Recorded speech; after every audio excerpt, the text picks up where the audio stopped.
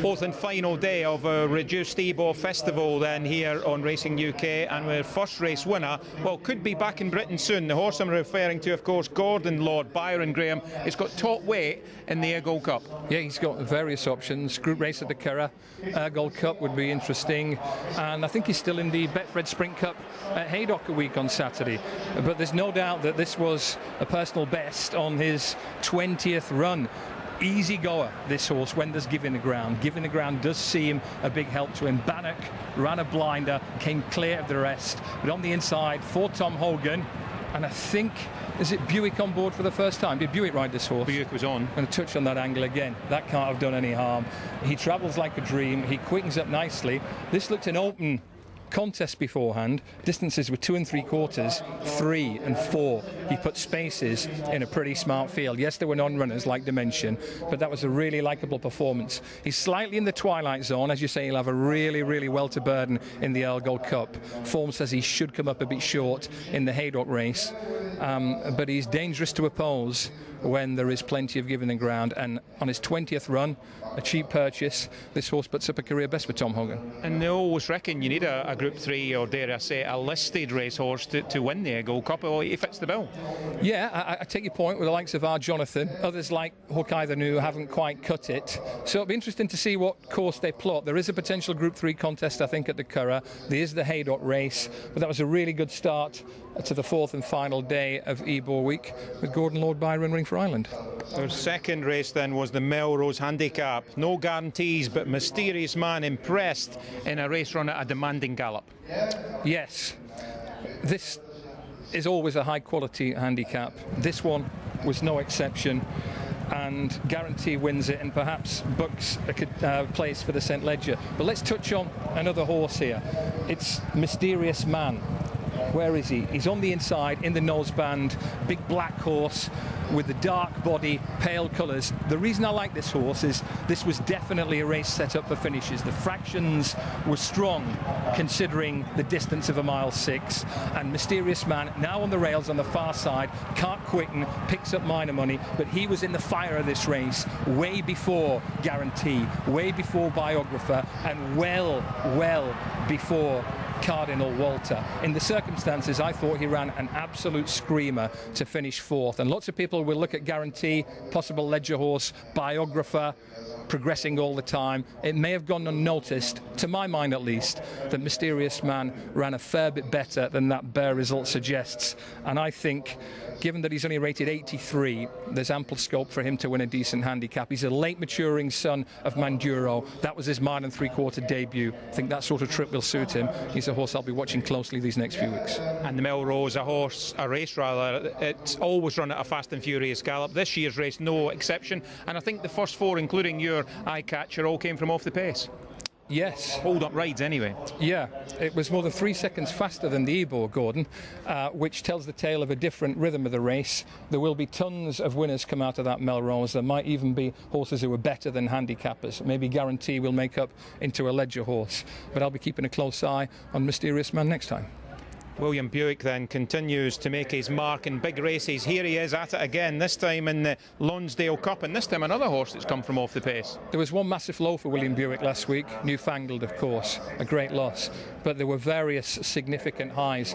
And this is a jockey now, he's making all the difference in major, major races. Pick him up on times up. He had so many chances to put this horse into the fire of a well run race, and he kept declining them. He kept tucking this horse in behind, tucking him in behind and the consequence is that I think first time on Times Up the partnership blossoms and he beats various horses who've beaten him fair and square in the past. What I'm saying is that on Thought potentially on Hortensia and certainly on Times Up, this jockey made a massive difference to the final placings in big, big races. In making that difference, though, Graham, riding at the top of his game, it'll be a confidence factor as well.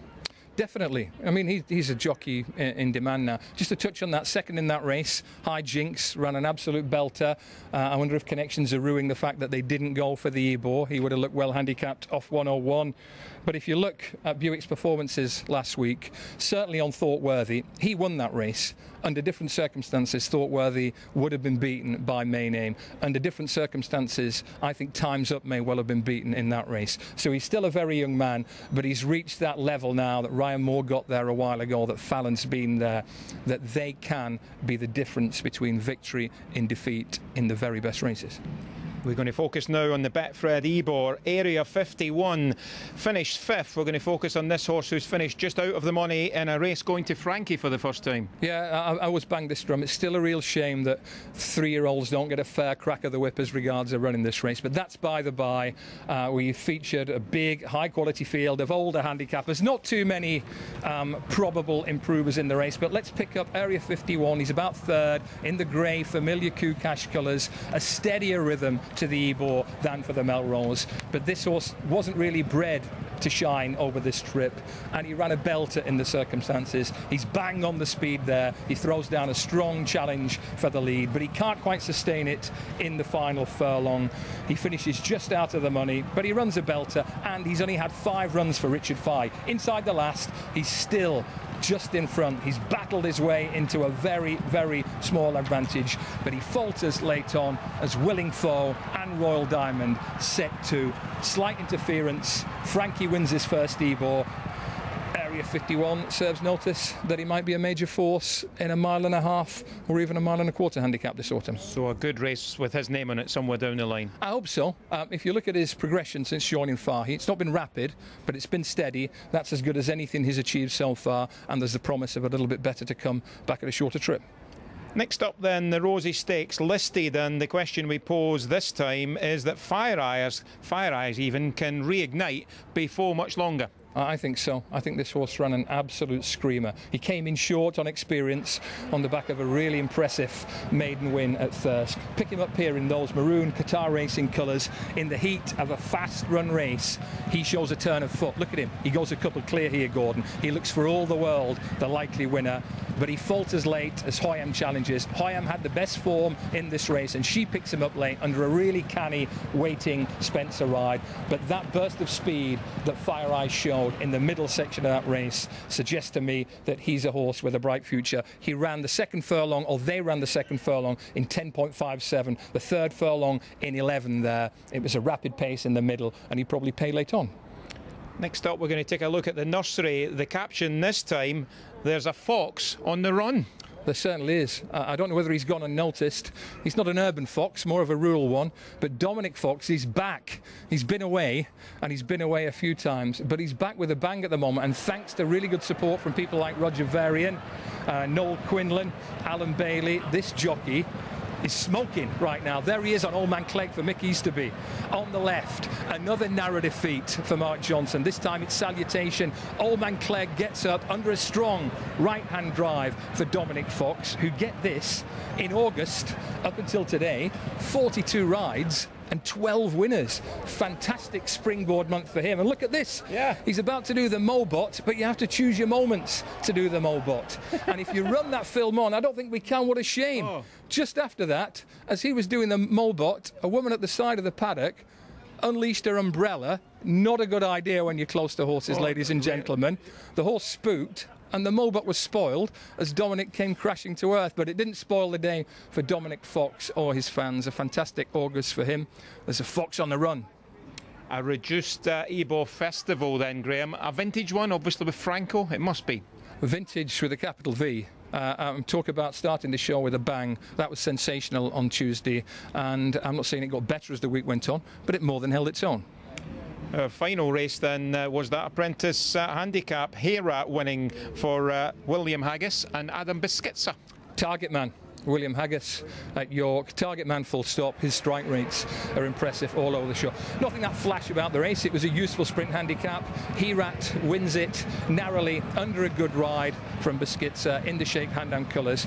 But if we touch on the stats here for Haggas, this is the York stats for William Haggas. He is at 15 from 64 in the last five years, 23%. Now, if you compare that with the, the top men in the profession, Sir Michael Stoute, 16%, Sir Henry Cecil, 19%, Richard Fahey, 9%, John Gosden, 14%, and Mark Johnston, a tepid 6%. I think it will get better now the drainage works better for Braveheart at York, and he had a really luckless week last week with various near misses. But if you consider that none of those top trainers can nudge 20% at York, and Haggas is at 23% with a really good week last week, Rosdhu Queen, Guarantee, Heeraat it was fantastic for Haggas. He is a real target trainer nowadays. Well, we hope you enjoyed then our uh, reduced York Ebor Festival.